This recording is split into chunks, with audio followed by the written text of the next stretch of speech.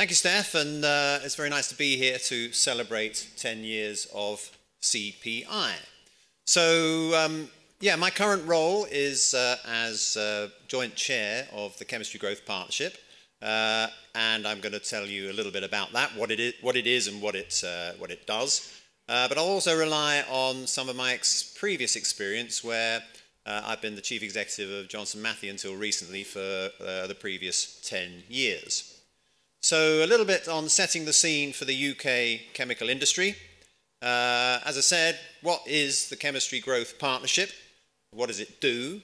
Uh, and then one of the things it does uh, is uh, it's connected with innovation. I want to talk to you a little bit about my views on that in this country and the potential uh, for much uh, higher growth in the future than we've had in the past. So the UK chemical industry is, I think, a little bit of a sort of unsung hero of this country's uh, manufacturing industry because I guess most of the companies in it uh, are business to business uh, and they don't talk much to consumers. Uh, I heard someone last night comment that uh, they had never heard of BASF, the biggest uh, chemical company on the planet, until they started advertising. This is BASF and this is some of the things we do. So that's a kind of stark reminder that we're, we're an under-promoted and, un, um, and not properly understood industry. But the UK chemical industry is global and it's very competitive. It's massively diverse. Uh, it supplies the sort of building blocks of products to a, probably every industry that's also in this country. So uh, products for medicines, products for foods, construction, transport, leisure, pretty much everything uh, this industry supplies into. So it's got a lot of members uh, and for that reason, it's, uh, it's quite a difficult thing to manage because there's a lot of, uh, a lot of participants. When we look at the aerospace industry that's, um, that's been mentioned earlier, they only have two or three or four participants, and it's much, much easier for them to come together and make an impact. So some of our chemical industry is very energy intensive. Uh, the price of energy therefore becomes extremely important to it. It's in a, it's in a competitive global environment. It makes bulk uh, products at low margins, uh, maybe transforming hydrocarbons or whatever uh, they choose to do.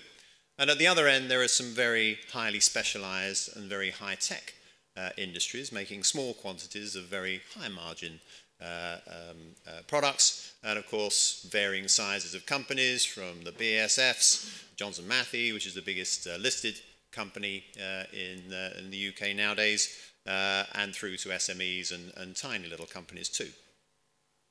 So this industry spends five billion pounds a year on R&D. Uh, it contributes 60 million pounds per day uh, to the UK economy. Uh, it invests its own money, £2 billion a year in capex, uh, employs half a, half a billion people, 500,000 uh, people, half a million people. Uh, and uh, they're well-paid jobs and they're safe jobs. The image of the industry in the old days, well, this is a dirty and, uh, and dangerous industry. That is absolutely not true now. Every company represented in this room will know that safety is top very top of their agenda. Um, it exports 50 billion pounds a year, uh, and uh, it exports more than it imports, which is, uh, which is a, a useful uh, thing, and it's the number one, UK's number one uh, exporting sector. So let's move on to the uh, Chemistry Growth Partnership, been going a little over a, a year now. Um, and what this is, uh, is a partnership between industry and government uh, set up to promote growth.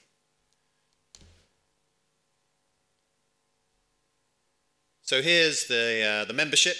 Um, of these companies are all uh, represented uh, on the Chemistry Growth Partnership, and the members are all CEOs uh, of those, those companies.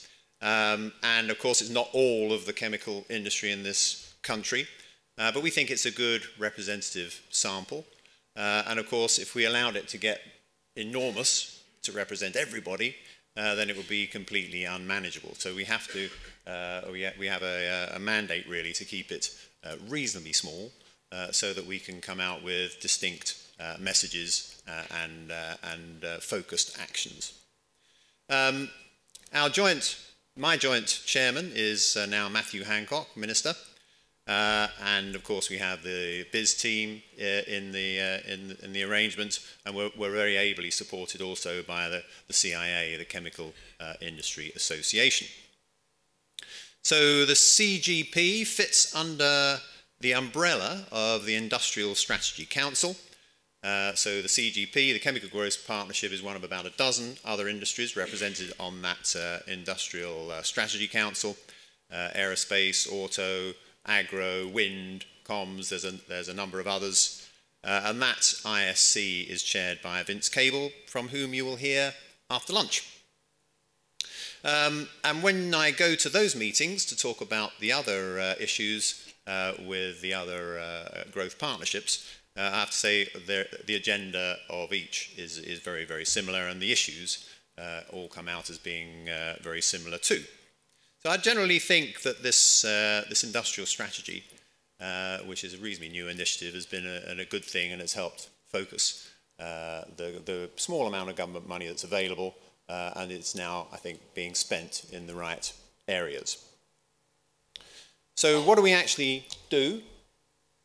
So here's our uh, priority themes.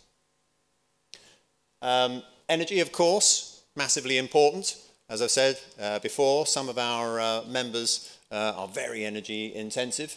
Uh, the price of energy for them is a massive uh, consideration. Uh, but we've also got to consider climate change, which we also think is a really important issue to grapple with. Um, and um, so that's led by, by Tom Crotty. And of course, there are issues in global energy. the issue that really um, uh, hits us uh, full square is the fact that in America now uh, they have access to cheaper gas. Uh, so um, what we are doing, our main, um, uh, our main uh, work streams in, within the energy thing are to be helpful to the government in promoting fracking of our own resources here.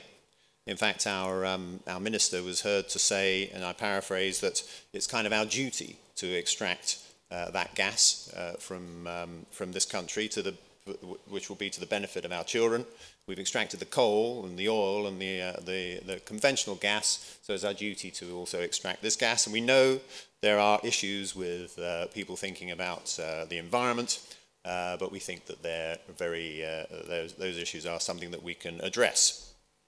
Uh, we're also working on the climate change side of how to turn uh, and how to promote uh, the turning of waste into energy as one of the examples of, uh, of getting some energy, uh, uh, hopefully competitively, um, but also addressing the climate change issue. Um, in this area, INEOS and SABIC, you saw them on the previous chart, or recently they've been in the news announcing quite significant investments in either the storage uh, or the exploitation uh, of fracked gas. So that's the recent news in energy. supply chains, uh, and whatever's happened with manufacturing over the last 20 years in this country, uh, it, it, seems that the supply chains in this country have become what's called hollowed out. Uh, so they're not as powerful, they're not as, as, um, as good and consistent as we'd like them. Uh, so there's quite a lot of work going in on that front. Uh, and an interesting trend that we're picking up, uh, was mentioned in a previous presentation that we are seeing a trend to onshoring again. Uh, so for a lot of the last 10 or 20 years, uh, global companies have tended to do their manufacturing in places like China and India. Uh, just the first signs that those days are maybe slightly coming to an end. Perhaps it's not uh, well, as we know, as I know from, uh, from Johnson Matthey, when you have plants in these areas and they want uh, and, they, and they, they demand uh, and get uh, double-digit increases in pay every year, well, it doesn't take too many years to double the cost of your, uh, of your workforce. So that is a trend on one side, and I think there are also doubts in some of these countries about reliability, consistency, safety, Uh, and the supply chain is also a long one. So um, these are decent trends for onshoring in this, uh, in this country, and some work is going on uh, on that front too. Skills, mentioned before, do we have the skills to succeed? Um, obviously, it's a big debate. Obviously, it's a very good area where industry and, uh, and um, government can work together to try and uh, ensure that uh, coming out of our universities are the, the best possible uh, graduates. I think that um, in Johnson Matthey, uh, things have changed over the last 10 years in that uh, nowadays many of our graduates come from Europe and um, I think that uh, there are some countries in southern Europe that aren't providing jobs for their brightest people, uh, and this really is an opportunity for us here uh, to attract that talent to this country. Uh, and uh, maybe 10 years ago, uh, there were most of our graduates in Johnson Matthey in this country were, were Brits. nowadays, perhaps the majority are from, from Europe. And we'd like to be able to bring in more from outside Europe, um, and that's been a problem recently uh, with uh, immigration policy, but one hopefully we must address. Let me move on to uh, innovation, because that's the focus of this conference. Uh, and as previously recorded, this is not a low-cost economy here. Wages and pensions are a, are a big issue. But we do have a very competent workforce in our, in our experience, uh, and um, uh, you know that's a, a big plus. So our growth strategy, if you like, for the next uh, period, and we as the CGP have set ourselves a target of 50% growth uh, in our value add in this country uh, by 2030, uh, which is another 35 billion pounds worth of, uh, worth of uh, income to the country. so how are we going to get there? Well, we need to sustain the bulk chemical side of our industry. We've got a, a very decent bulk chemical industry here. Uh, perhaps it's not going to grow at the at record uh, rates, and there are issues with the cost of energy and other other things. But sustaining that is a, is a key plank of our uh, our strategy. But to promote uh, the high tech, the higher the the IP uh, containing higher margin type businesses, and that's where we come down to innovation. So, you know, the the process of invention and invention obviously uh, happens in universities, um, but I think it happens even more uh, in companies, uh, where companies are, uh, have a relationship, a long-term relationship with a customer. The customer will share his vision, her vision of where they're headed in the future, and then you know what to invent, uh, which will make a difference to them in the future. Uh, lots of companies, Johnson Matthey included, spend a lot of money on R&D to invent things. Uh, and where we've fallen over, which has already been mentioned, is this innovation pathway. And this is where CPI is going to be massively helpful because there isn't uh, a company uh, in this country that can afford the kind of uh, expertise and kit that the CPI has uh, for its own use just in case it might need it.